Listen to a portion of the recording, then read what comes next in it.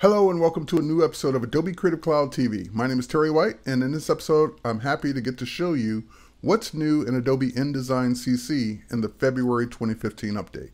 That's right, as a Creative Cloud member, you know you're used to getting these updates on a regular basis. It's February, so why not have an update to InDesign?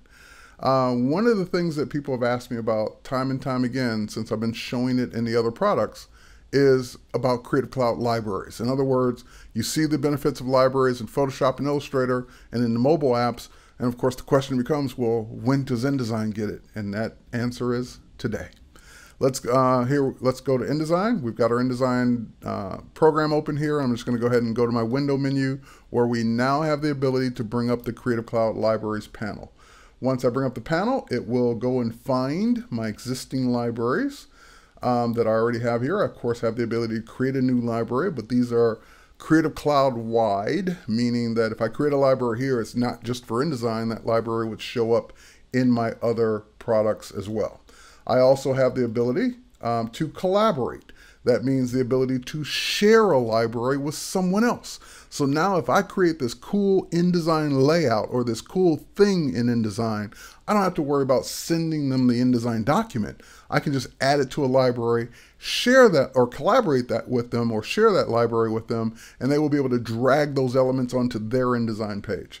So you can kind of like create, you know, these recipes or these things for people to be able to do in InDesign uh, just by using the library feature. So let's go ahead and create a new document. And once I create the document, I'm just going to go ahead and say that's uh, not facing pages, new document. And then I'm just going to go ahead and draw a frame, or let's actually just draw a shape. So we're not going to really do anything with that frame, so we'll just use one of the shape tools. And then we'll use the direct selection tool and we'll grab the corner point here and just simply delete it. So now that becomes more of a triangle and then we'll go to our fill and what I want to do with that is use one of the colors that I grabbed from Adobe Color on my iPhone. So using the mobile um, app to sample colors around me, sync those colors to my Creative Cloud libraries long ago, and those color themes are now available for me to use in InDesign as well. So now I've got my color there. The next thing I'd love to do is to go ahead and pull out a logo. So if I scroll down the library, you'll start to see the things that you can use, like colors. And in some cases, you may see things in your library that are part of that library that you can't use. In other words, I can't use brushes in InDesign because it's not a drawing application. It's not a painting application. So although I can create brushes with apps like Adobe Brush CC, on my iPad or iPhone, I and use those brushes in Adobe Sketch and Photoshop and Illustrator, it doesn't make sense to have those brushes available in InDesign. So they're here, they're grayed out. Now, if I keep scrolling down, I do have the ability to use graphics. So if I want to grab my logo, which I was in Photoshop and I added it to my library, I can just go ahead and drag that in. I get the same place gun, which gives me the ability to scale it proportionally and then put it on the page.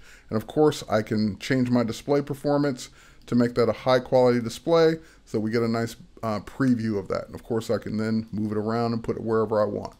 The next thing I can do is let's say that I want to grab a graphic that I don't have. In other words, I haven't found it yet. So let's go ahead and go up to the Creative Cloud menu.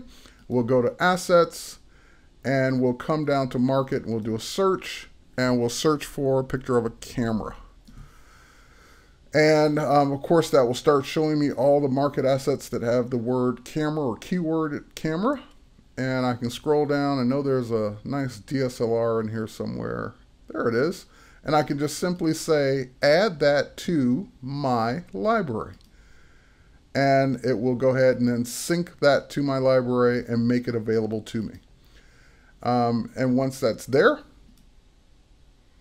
and here it comes, and now I can go ahead and just drag that right into InDesign. So grabbing stock art, using it here in InDesign, and again, changing my display performance to a high quality display, display to make that look better.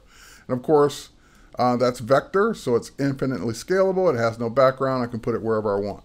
Now, let's say that I love this handy dandy layout that I created, and I now want to share this. Of course, we will uh, go in and we'll do things like make the logo smaller and we'll put that up here. And I now want to remember or have this layout to be able to use on other pages or share with others? Well, I can select the whole thing, just all the elements on the page, and then I can go in and I can say, you know what, I'd love to add this to my library. So it now added all of those elements. So that means even if I go in and I create another InDesign document someday, there we go. And I now want to use that same layout, those same elements.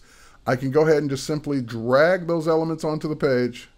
And again, we'll go up here and we'll place them.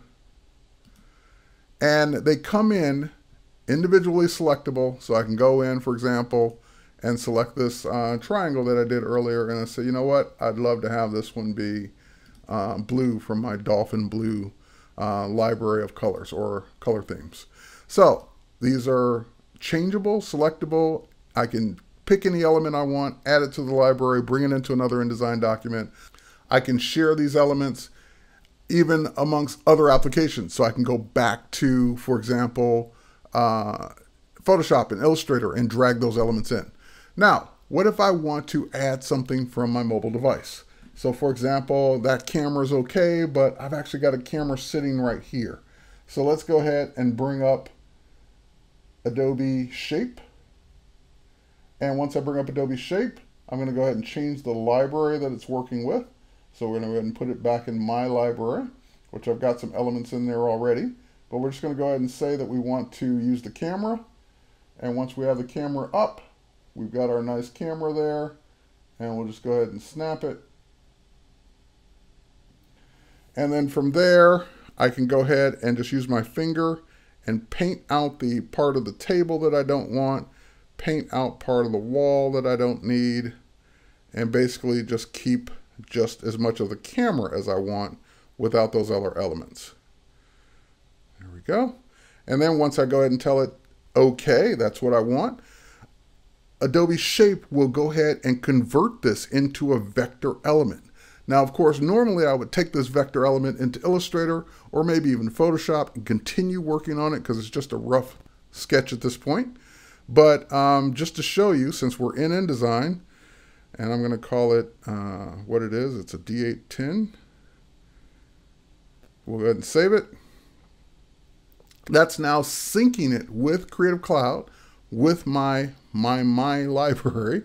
And now if I head over to uh, back to InDesign here and I scroll over down to my images, there's my D810 ready for me to go ahead and drag right into um, right into InDesign and use it as a vector element. And once again, like I said, this is vector, so I can scale it to my heart's content and do whatever else I want to do with it.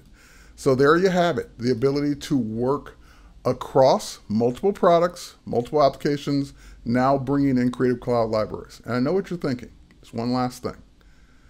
Well, libraries, that's a generic term that InDesign has had for a long, long time. InDesign has had its own library feature. What about all my InDesign libraries? How does that work? Well, let's go open one. Let's go up File, Open. And let's go out to here and let's go in. I've got a library here. Here's one. So this is an, a standard InDesign library and it works just like you would expect. It gives me the ability to drag in content and use that content. But that's an InDesign library, meaning it only works with InDesign. Well, you'll notice now your InDesign library is in the bottom of the panel now have the ability to be converted into um, Creative Cloud libraries. So I can say convert this to a new library as my InDesign library if I want, or add it to an existing library. So if I say convert it, it's now making that library and adding those elements, or I only had the one element selected. So uh, in this case, I'd have to drag the other elements over, but I could have selected all the elements and then told it to convert that into a um, Creative Cloud library. And now, of course, I have the ability as a Creative Cloud library to collaborate or share this library with others uh, that I want to have access to those elements. So I can just invite others to this library. That library will show up in their libraries panel and they'll be able to drag elements in and out or add elements or take elements and use those elements on their um, designs from my Creative Cloud library. So that's it for this episode of Adobe, of Adobe Creative Cloud TV. My name is Terry White. Hope you enjoy what's new in InDesign CC in the February 2015 update. Take care and we'll catch you on the next one.